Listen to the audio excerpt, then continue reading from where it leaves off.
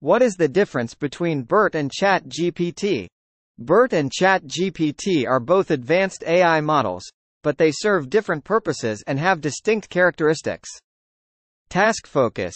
BERT, bidirectional encoder representations from transformers, is primarily designed for natural language understanding, NLU, tasks.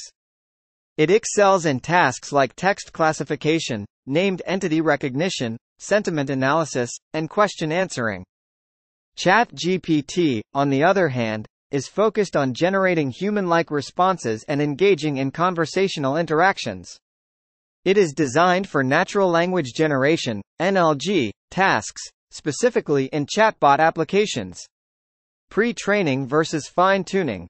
BERT is pre-trained on a large corpus of unlabeled text data using a masked language model, MLM, objective and next sentence prediction, NSP, task. After pre-training, BERT is fine-tuned on specific downstream tasks using labeled data.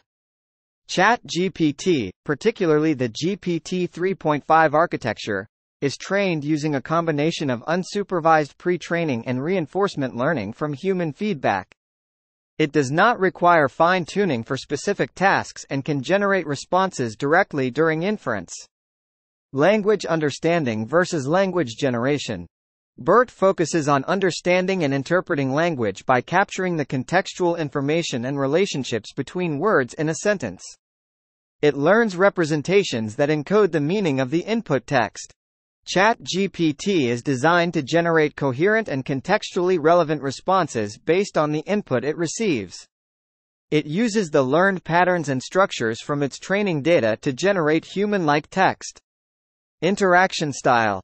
BERT is typically used as a component within larger systems to enhance the understanding of user inputs.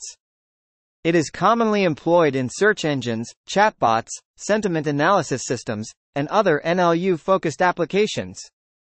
ChatGPT, as a conversational AI model, is used to create interactive and dynamic chatbot experiences.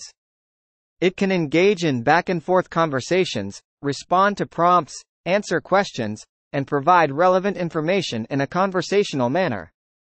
While BERT is a language understanding model used for NLU tasks and requires fine-tuning, ChatGPT is a language generation model designed for conversational interactions and does not require fine-tuning for specific tasks.